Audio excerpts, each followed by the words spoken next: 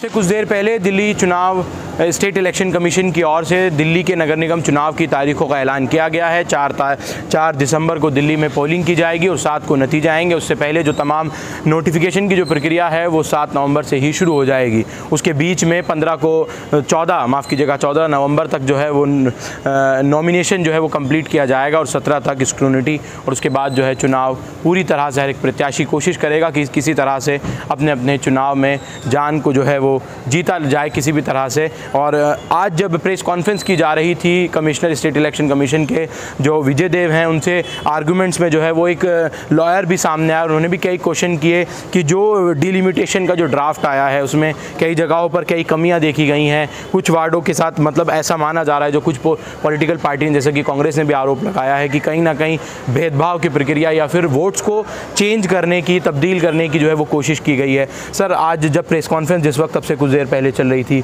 आपने कुछ विधानसभाओं का असेंबलीज़ का नाम लिया कि वहाँ वार्ड्स को लेकर डिलिमिटेशन कुछ बहुत ज़्यादा गलत हिसाब से किया गया है तो मुझे आप तफसील से एक बार बताइए क्या कुछ पूरा मामला है देखिए ये पूरी चुनावी प्रक्रिया ही सवालों के घेरे में है हम्म। और ये इसमें कई ऐसी चीज़ें हैं जो बहुत ही अनुचित की गई हाँ।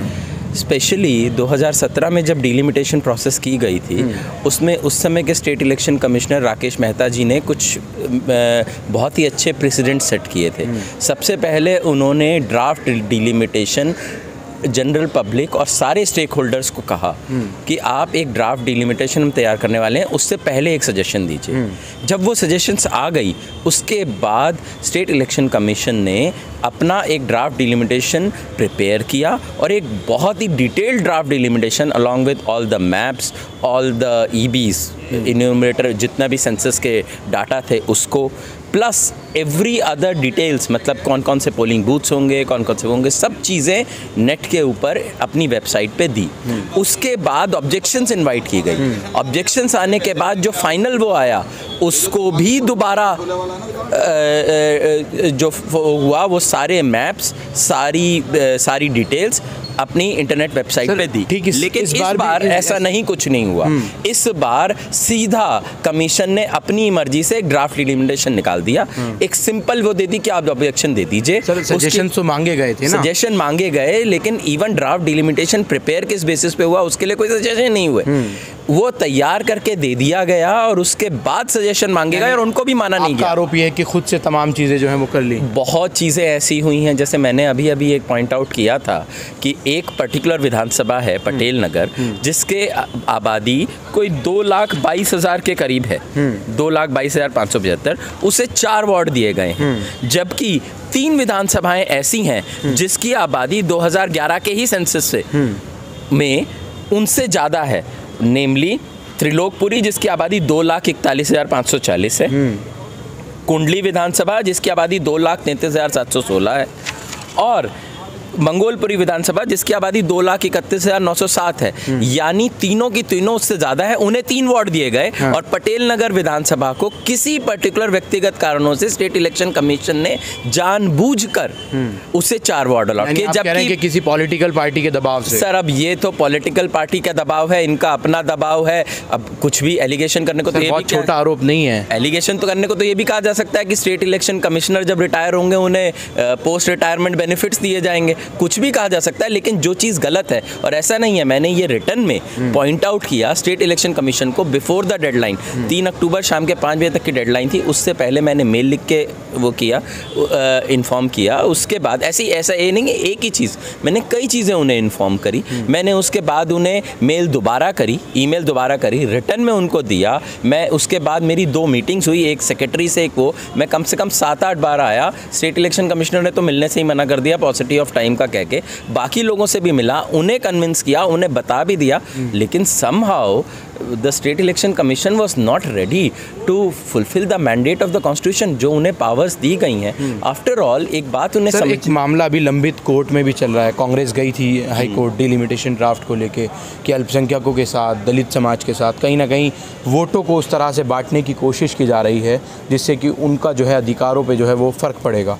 लेकिन उसके बावजूद जो है चुनाव की तारीखों का ऐलान कोर्ट ने जो है वो रिपोर्ट मांगी स्टेट इलेक्शन कमीशन से और केंद्र सरकार दोनों को तलब किया है। उसके बावजूद चुनाव की तारीखों का ऐलान? सर मैं ये ऑथेंटिक रूप से कह सकता हूँ कि इस बार जो डिलिमिटेशन जो किया गया है वो कई ऐसी चीज़ों को लेके ऐसे चीज़ों को ध्यान में रखते हुए किया गया है जो संविधान की भावनाओं के ही खिलाफ है। डिलिमिटेशन प्रोसेस को अगर उसे प्रैक्टिकलिटी में देखा जाए तो उसको जो लॉ कहता है जो लेजिस्लेचर कहता है specifically section section five one है म्यूनसिपल एक्ट 1957 का, जो आज भी एप्लीकेबल है, वो कहता है कि एज़ फार एज़ पॉसिबल जितने वार्ड्स हों, उनकी पॉपुलेशन सेम रखी जाए। लेकिन यहाँ पर ऐसा कुछ नहीं किया गया और उसके बाद जो डिलिमिटेशन प्रोसेस जो वार्डों को बांटने का काम किया गया, उसका बेसिस था। धर्म के आधार पर, जाति के आधार पर और उसके बाद क्लास के आधार पर। इवन मैंने तो स्टेट इलेक्शन कमिश्नर के सेक्रेटरी को ये तक कह दिया कि साहब, ये आप डिलिमिटेशन कर रहे हैं, हिंदुस्तान पाकिस्तान का विभाजन कर रहे हैं कि हिंदू अलग, मुसलमान अलग। आपने तो यहाँ ये तक कर दिया कि एससी पॉपुलेशन को बिल्कुल अलग जोड़ दिया जाए, अगड़े को अलग जोड़ दिया जाए, पिछड़ों को अलग रख दिया जाए, हिंदू अलग, मुसलमान अलग इवन झुग्गियाँ अलग और पॉर्श कॉलोनियाँ अलग। मतलब ये तो और आगे बढ़ गए क्लास डिवाइड तक पहुँच गए। सर, इन्होंने जानबूझकर ड्राफ्ट डिलिमिटेशन के तो वार्ड्स के मैप पब्लिश किए लेकिन जानबूझकर जो फाइनल डिलिमिटेशन है उसके मैप्स इंटरनेट पे दिए ही नहीं ताकि लोगों को पता लग जाएगा। तो ये पता लग जाएगा स्टेट इलेक्शन कमिश्नर ने किस तरीके से इतनी अनुचित चीज़ें कर रखी हैं जो देखने पे ही पता लगती है। मैप ही इतने अजीबो करीब है इतना अजीबो करीब वो है पिछले स्टेट इलेक्शन कमीशन आरक्षित वार्ड की लीड लिस्ट जो है जो रिजर्वेशन नया लिस्ट आया है उसमें भी काफ़ी चेंजेस किए गए हैं। क्या रोटेशन उसमें नहीं किया जाना चाहिए था? सर उसमें रोटेशन क्योंकि फ्रेश डिलिमिटेशन हुई है। हाँ। पहले तो यही तो वहाँ नहीं है था। वहाँ पे रोटेशन देखिए वहाँ पर कुछ फिक्स्ड फिक्स्ड पैरामीटर्स थे लेकिन कुछ पैरामीटर्स जो हैं कोर्ट ने उसके ऊपर साइलेंट रह गई। तो उसे स्टेट इलेक्शन कमीशन ने अपने हिसाब से जोड़ तोड़ दिया। There was a specific judgment state state election versus state election commission versus Vikas 2012 की हाई, दिल्ली हाई कोर्ट की जजमेंट है। उसमें कहा गया है कि वार्ड जो हैं, किसी भी एक विधानसभा में एक वार्ड से ज़्यादा आप रिज़र्व ना करें जबकि इसको फॉलो नहीं किया गया। उसके लिए ये है कि नहीं जी हमारी ये प्रोग्रेटिव है कि हम उसे माने या नहीं माने उसका स्पेसिफिक लॉ में प्रोविज़न नहीं है। तो तो अगर एक सजेशन मोड में भी अगर वैसे तो हाई कोर्ट ने उस स्पेसिफिक केस में ये दिया कहा है और वही लास्ट ऑथेंटिक ऑर्डर है जो लेटेस्ट ऑथेंटिक ऑर्डर है स्टेट इलेक्शन कमीशन कैसे डिलिमिटेशन करे उसके ऊपर। सर आखिरी सवाल। आखिरी सवाल है मेरा आपसे। अब तमाम चुनाव की तारीखों का ऐलान, तमाम प्रक्रिया पूरी करने के बाद किया जा चुका है। क्या अब इसको चैलेंज किया जाएगा? सर चैलेंज किया तो जाना चाहिए और ये खुद में भी हाईली ऑब्जेक्शनेबल है। पहले तो इसकी आपको चुनाव रुक पाएँगे कुछ अ, नहीं साहब पॉलिटिकल वो आज की डेट में देखिए इवन सुप्रीम कोर्ट के भी बारे में कहा यही जाता है जो हम एक अच्छे जूरिस्ट मानते हैं कि हाँ it the court might be supreme but it is not infallible अगर हम ये कहें कि जुडिशरी ही सब तरीकों सब चीज़ों से ऊपर है तो ऐसा नहीं है। वहाँ पर भी कई फैक्टर्स ऐसे हैं जुडिशरी के साथ भी कई चीज़ें में भी कई चीज़ें ऐसी होती हैं कि जब तब जुडिशरी भी साइलेंट हो जाती है। तो चीज़ें जो करी गई हैं, एक मामला जो लंबित है जो कोर्ट खुद कह रही है कि उसे कंसिडरेशन करने के लिए टाइम चाहिए और उसके बाद आप ज़बरदस्ती एकदम से आप चुनाव की तारीखों का ऐलान कर देते हैं। ये तो बात ही समझ में नहीं आती। है कि आपने कोर्ट को भी इन्फॉर्म किया कि सर हम बहुत सारी तैयारियाँ कर चुके हैं हमारा क्या रीज़न है कि हम इसको नहीं कर पाएँगे? या कोर्ट कुछ एक काम करे बिल्कुल, क्या को- शायद कोर्ट में भी अर्जेंट हियरिंग की एप्लीकेशन लगाई जा सकती थी कि साहब आप जनवरी में ना करें आप अभी करें हमें दिसंबर में चुनाव कराने क्या स्टेट इलेक्शन कमीशन उसमें पार्टी था क्या उसके लिए गया क्या उसने कानून के लूप होल्स का ही सहारा लेना चाहा क्या उन्होंने ये समझा कि हमारी भी कुछ जिम्मेवारी है और हम कुछ एक्स्ट्रा कॉशियस हो जाएँ? ये किस तरीके से एक बार चुनाव हो जाएँगे प्रतिनिधि चुन के आ जाएँगे उसके बाद अगर कोर्ट पा, पा, पा, पाता भी है कि इसमें प्रॉब्लम्स आ गई हैं तो वो क्या करेगा? तो वो क्या वो जनता के मैंडेट को रिवाइज करेगा? और जनता के मैंडेट को अगर वो रिवाइज भी करते हैं उसमें जो खर्चा होगा जो उसमें सरकारी पैसे का व्यय होगा जो लोगों का टाइम एक संडे है उनका फैमिली टाइम है वो जाते हैं वो अपना लोकतंत्र में और संविधान में अपना विश्वास प्रकट करके जाते हैं। वो उनका भी टाइम है उनका भी समय है उसका भी है और उस विश्वास का क्या होगा जो जनता संविधान में रखती है? संविधान पर रखती है। तो क्या स्टेट इलेक्शन कमीशन तो हर चीज़ को ही मतलब संविधान को ही मारने की कोशिश है? मैं आखिरी एक और चंद अल्फाज में कि पूर्ण तरीके से आप इसको संवैधानिक तरीका मानते हैं? सर आज की डेट आज आपने देखा स्टेट इलेक्शन कमिश्नर ने किस तरीके से मेरे सवालों को अवॉइड किया और उसे किस तरह घुमा फिरा के आंसर करने की कोशिश की। एक भी आंसर सटीक नहीं था। एक भी चीज़ को प्रॉपरली नहीं उठाया। मैंने इस विधानसभा का नाम स्पेसिफिक लिया कि उसमें वार्ड ही ऊपर नीचे उन्होंने उसके बारे में कुछ नहीं कहा उन्हें अच्छे से मालूम है। ये उनको रिटर्न में पॉइंटेड आउट है। ऐसा नहीं है कि उनकी नॉलेज में नहीं है। उनको स्पेसिफिकली पूछा गया कि आपके लिए जल्दी करना ज़रूरी था।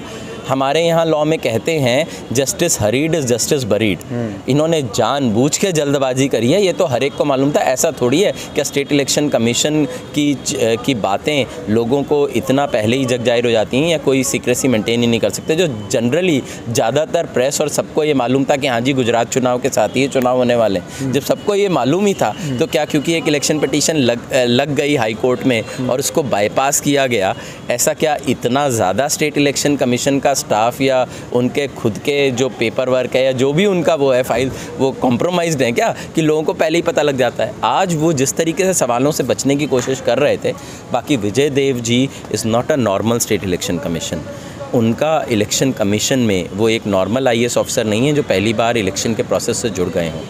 इलेक्शन कमीशन में और इलेक्शन प्रोसेस में उनका जो पिछला इतिहास है या जो इन उनका जो पीछे का जो उनका एक्सपीरियंस है वो बहुत वाइड है। He has been he has been involve with election commission of India also he has been involve in at many such post और उनका टेन्योर इतना अच्छा रहा है इतना बड़ा रहा है कि उन्हें इलेक्शन प्रोसेस का ए टू जेड टिप्स के ऊपर होना चाहिए था आज तक।